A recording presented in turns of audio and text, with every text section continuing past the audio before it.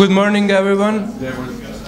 I want to wish you welcome on the second day of the conference, uh, Social Justice, New Horizon, New Perspective, uh, in the name of the Institute for Philosophy and Social Theory, and the name of uh, Group of Social Engagement Studies, and in the name of other cooperators who with us organized this event. Uh, this session we will have two lectures from Snjezana Prijic Samaržija, uh, Social and Epidemic Justice, Injustice, ep Epistemic, uh, sorry, and from Christian Pieler, uh, Broome and Aristotle on Fairness. Snjezana Prijic Samaržija is full professor at University of Rijeka and one of directors of Center for Advanced Studies, Southeastern Euro Europe in Rijeka. She studied philosophy at University Belgrade and finished magister at University of Ljubljana. Uh, she made her PhD uh, in social epistemology at the University of Zagreb. Since 1997, she works at University of Rijeka, and now she is full professor at the Department of Philosophy, Faculty of Humanities and Social Sciences, and vice rector at this university. During the time, she was the editor-in-chief of Croatian Journal of Philosophy, the director of Rijeka University Foundation, and director of several courses and conferences at the International University Center Dubrovnik. Also, she was visiting professor at many European universities such as Oxford University, University of Budapest, Padua, and so on. Her main area of interests are social epistemology, feminist epistemology, uh, social and ontology recently uh, questions about institutions. The title of her today's lecture so is Social and Epistemic Justice or Injustice.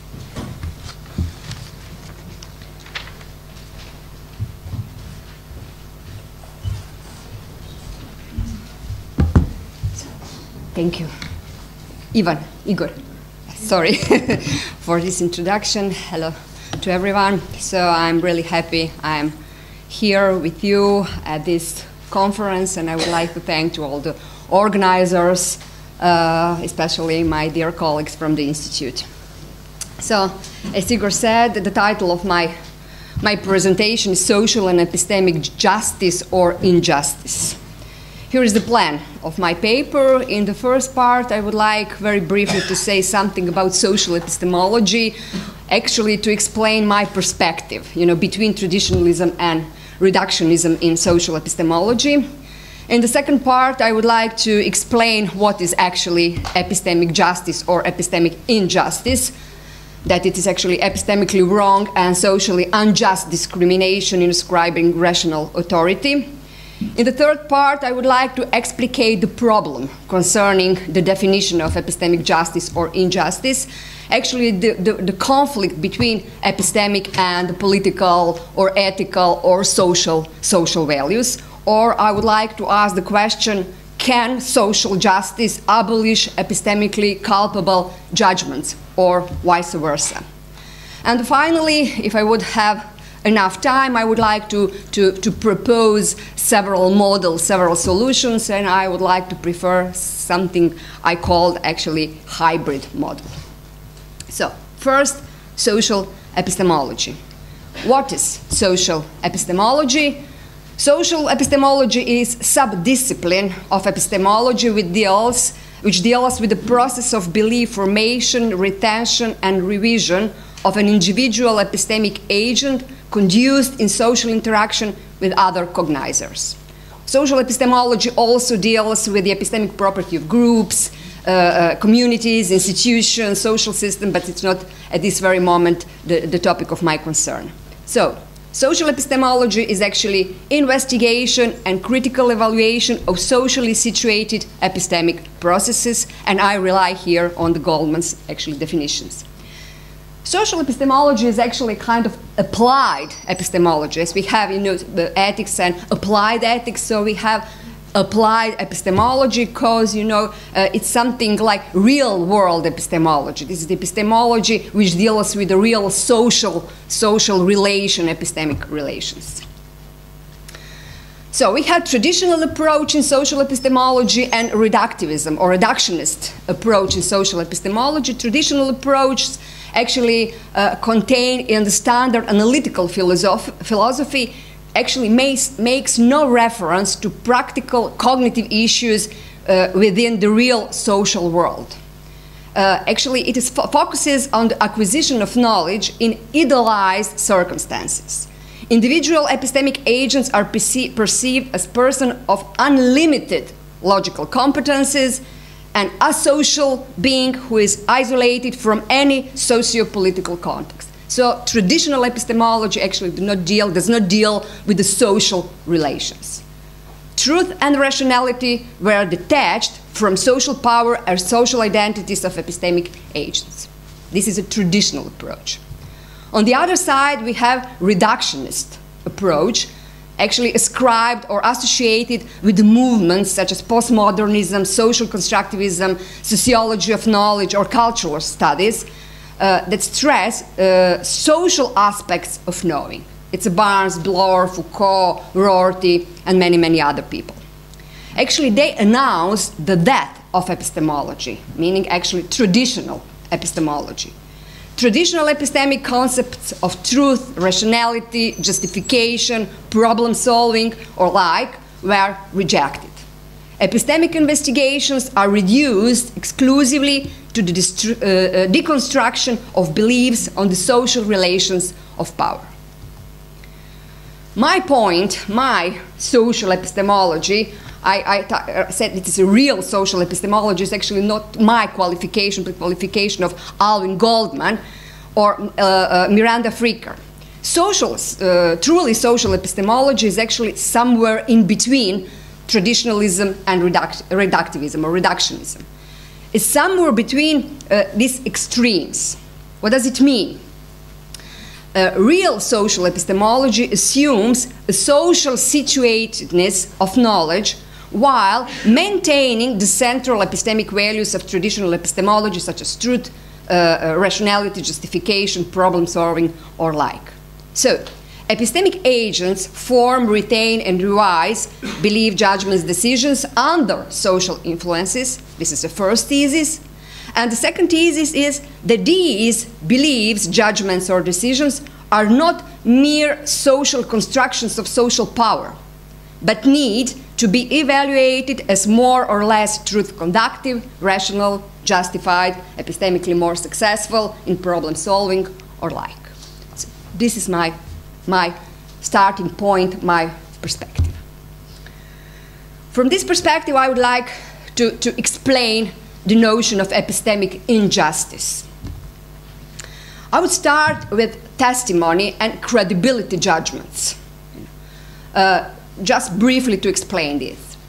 Other people, their reports or testimonies are sources uh, on the basis of which we actually form, retain, or revise our beliefs. The assessment of other people's reports, the assessment of informants, are more or less credible, as more, more or less credible, is the basic epistemic practice. You know. So the paradigmatic epistemic situation in society is actually, sorry, credibility judgment, or assessments of an informant's trustworthiness or the reliability of their reports. So I will start with this.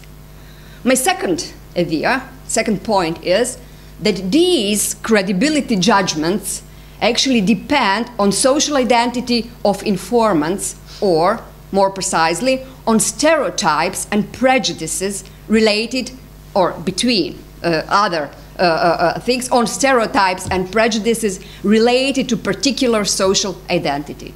And I rely here on the Miranda Fricker's book on, on, on epistemic injustice.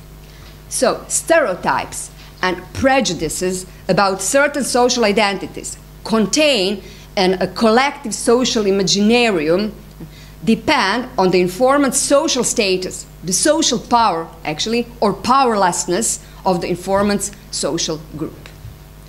So, if we have these, we have and the second or the third step, such some kind of prejudicial dysfunction in credibility judgments or in testimonial practices.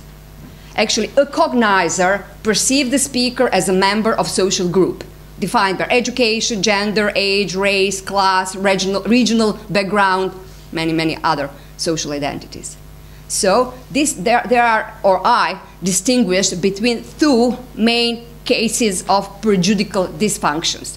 Credibility excess, where the speaker receives more credibility than she deserves due uh, uh, his social status, social identity, and credibility deficit, where the speaker receives less credibility than actually she deserves due their uh, uh, uh social status.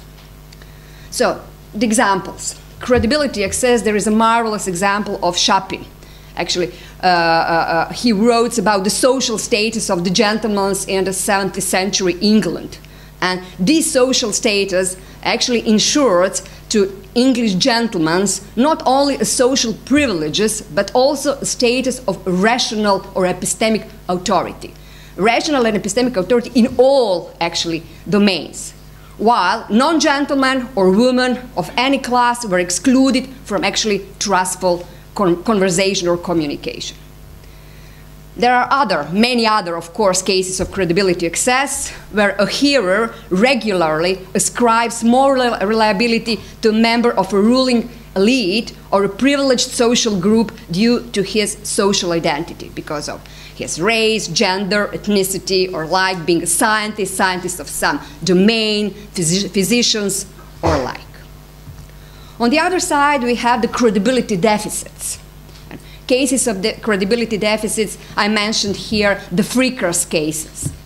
a man who describes to his female friend less reliability than she deserves due to her gender identity. And actually, she quotes a sentence from uh, Patricia Highsmith's talented uh, Miss, uh, Mr. Ripley. Marge, there is female in in intuitions and there are facts. Also, Fricker's mentioned Harper's Lee uh, uh, situation and to kill a, a, a mockingbird a jury that thinks that the black man doesn't deserve credibility due to his racial identity. She also mentioned a very concrete uh, uh, uh, Uh, uh, uh, cases, a case of stop and search by the police where racial prejudice affects the perception of police officer so that the young black male driver receives a prejudicially deflated level of credibility when he declares that he is the owner of the car. He was actually one very, very specific incident uh, published in, in, in, the paper, uh, newspapers. I would like here to, to make a clear distinction at this very moment between epistemic discrimination and epistemic selection. Namely, an individual's social identity or status is not always irrelevant evidence for making credibility judgment. Leftists can be more credible sources on union policies and procedures. A rich people about the lives of golden youth, biologists about cellular dysfunctions, etc. English gentlemen in the 17th century might have been more reliable informants about many issues also because of better actually access to education and a certain gentlemanly codex that socially sanctioned lies or competencies.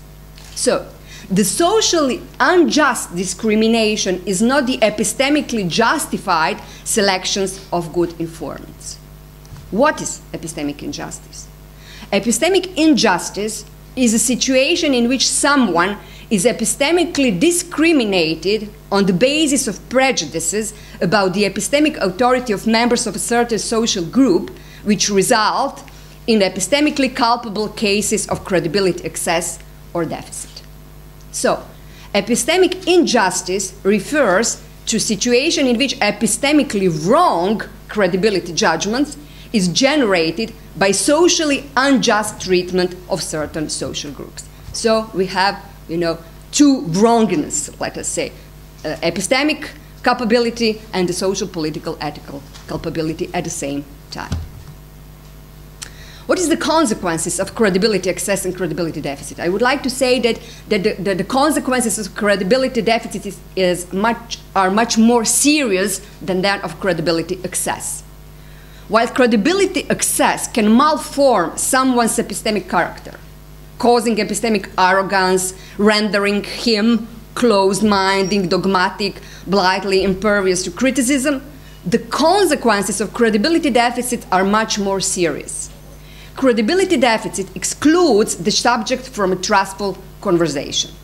Not only it undermines the capacity for knowledge, which is essential to his value of a human being, but it thus discriminates him as a social being. So if we have the systematic credibility deficit, then uh, it can, they can cause different further injuries or injustice, economic, educational, professional, etc. So, the final remark concerning the explanation of the notion of the epistemic injustice epistemic injustice is hybrid assault, intellectual and ethical and political. Epistemic, uh, epistemic justice is generally hybrid, actually, value, in that it aims at both truth and justice and contains the very same motivation to eliminate or neutralize the social injustice in the basis of prejudice. So, the problem the conflict between social justice and epistemic justification. While cases of epistemic injustice are clear cases of epistemic and social culpability, there are situations in which social injustice can be connected with epistemic benefits, or in which social just acts entail epistemic uh, culpability. Case first. I actually applied here on the words and the works on, let's say, very famous Croatian philosopher Sesardic, Neven Sesardic. I don't know whether you know, you know him. He, he was at the King's College now, and he is, he is in Hong Kong. Uh, uh, the situation in which social injustice produces epistemic situation in which social injustice produces epistemic benefits. So Sesardic said that political correctness, pro political correctness programs can generate epistemically suboptimal results. For instance, he said that epistemic discrimination or credibility deficit of members of certain racial and ethnic groups is justified by alleged evidence provided by statistics about the frequency of cases in which they are the initiator of criminal and terrorist assaults. So actually, he justifies a kind of racial and ethnical discrimination because of epistemic ends. Second two is the situation in which social justice produces epistemic culpability. For instance, affirmative action programs of quotas for Afro Americans at American universities or for women in parliaments actually are criticized as epistemically unjustified because they can discriminate epistemically more deserving people who lose their positions and therefore impose them ethical, political, and economical, educational, actually, injustice. And the third case is the case in which we have epistemic benefits, and epistemic benefits produce social injustice. So this is the cases of expertism, epistocracy, or epistemic paternalism. Expertism and episto epistocracy can be seen as a form of socially unjust, privileged treatment of experts in the decision-making process or as a kind of elitist discrimination. Since experts are comparatively with, uh, to the other people the best guides to truth, or at least to escaping false beliefs, trusting experts usually results in justified beliefs. So we have the epistemic benefits there. However, epistocracy or expertism or epistemic paternalism of experts are usually seen as non egalitarian, socially unjust, or anti democratic. And the crucial people here are criticism of epistocracy from this point of view is Estlund, Peter, famous Peter Estlund, or Fabienne Peter, or uh, Kitcher, Philip Kitcher. Conclusion We have here a clear conflict of values. Social injustice and epistemic mistakes are not necessarily connected are not necessarily related, as well as social justice and epistemic success. Social injustice can generate epistemic success, for instance, in situation of expertism and epistemic paternalism. Social justice, on the other side, can generate epistemic culpability, as in situation of affirmative action. Uh, highlighting the impact of such conflict, some authors, like Sesardic, defend serious social injustice as the practice of avoiding, avoiding epistemic risk. And actually, they justify, they uh, uh, think that racial and ethnic discrimination is acceptable. So, the diagnosis of problem. The, my question is what is the criteria of proper evaluation of social injustice? Should we justify epistemic mistakes if they lead to social justice? Or should we justify epistemic benefits if they generate or assume social injustice? And here's my final part. I don't know whether I have enough time. Yeah, okay. So, actually, as I can see, there are three models of possible solutions, and I prefer hybrid hybrid model. The first solution is veritistic model. Veritism stresses the epistemic outcomes. And the most prominent, let us say, representative of veritism is Alvin, very famous American epistemologist Alvin Goldman, social epistemologist. Veritism uh, actually stresses the epistemic outcomes. The necessary condition for approval is epistemic success. So it is not acceptable to sacrifice epistemic goals in order to achieve social justice. On the other side, sacrificing social justice on some uh, cases, some elements of social justice for the sake of epistemic success can be justified in certain cases. For instance, he, uh, uh, he thinks that epistemic paternalism or some, some uh, forms of exp- expertism can be, can be justified. I think that racial discrimination of Sesardic type cannot be justified by appealing uh, also in this veritistic model uh, because actually it generates cre uh, credibility judgments. They will be more often wrong than correct, but I can explain then if it would be necessary later.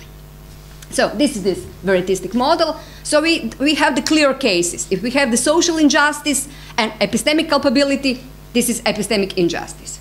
If we, ha we have social justice and epistemic success, we have the virtue of epistemic justice. But if we have social justice and epistemic culpability, according to Veritas model, it is unjustified. But if we have social injustice and epistemic success, in some cases, it can be justified. The second model is egalitarian model. Egalitarianism is focused on the social justice as social justice is necessary for approval, it is acceptable to sacrifice epistemic success in order to ensure social justice. For instance, affirmative action programs. A situation in which social injustice is conductive uh, to epistemic success uh, uh, is completely unacceptable. For instance, racial as well as elitist discrimination, expertism, or epistemic paternalism uh, are not actually acceptable. This is the Estlund's and the Peters position. And also the table, you can see there is no difference between egalitarian and veritas model in, in defining the uh, epistemic injustice and epistemic justice cases. But in this, when we, we, we are coped with the conflict of values, there are differences. So socially, social justice and epistemic culpability can be justified, but not social injustice and epistemic success cases. And finally, hybrid model. While veritism and egalitarianism make, make clear value priorities for all situations, so the truth on the one side, or truth conductiveness on the one side, or the justice on the other side, hybrid model insists on concrete assessment of outcomes in real situations and even pleads for a certain trade off procedures. The hybrid model stresses the harmonization of intellectual and, and ethical political values in concrete real world, world contexts. Okay, the table, uh, the table here. So in these problematic cases, hybrid model actually asks, requires some kind of contextual harmonization. What does it mean, harmonization? For instance, in the case of affirmative action, we need, let us say, a more comprehensive analysis of long term epistemic outcomes. So we can say, allowing for actions which may result allowing for actions which may result in an imminent epistemically suboptimal outcome can be justified if there is a reasonable probability that there will produce better long-term epistemic results. So, in the short term period, we have, let us say, suboptimal epistemic results, but in the long term, we have the better or the more searcher for the truth. Uh, the second case is uh, uh, expertism or kind of epistocracy. In the case of expertism, we could introduce a division of epistemic labor. It's actually Christiano's idea, Thomas Christiano's idea. The decisions about social priorities need to be left to the citizens, but decisions related to the measures of reducing budget deficits need to be left to the experts. So, in the concrete cases, we actually decided, you know, whether we can uh, accept uh, this kind of expertism and in cases in which we cannot. So, of course, the minimal desiderata of epistemic and ethical political correctness need to be uh, clearly defined. So, racial or ethnical discrimination cannot be justified in any trade off scenario. There is no epistemic benefit that can justify by such a blatant case of serious social injustice. So I have put, you know, there's the minimal conditions, but I can skip uh, this. Uh, I would like only to say this, because uh, I know that I'm probably short with, with, with my time, or not. Okay, thank you. Uh, of course, I, am aware that, can, that there, there, there are cases of persistent conflicts of aims.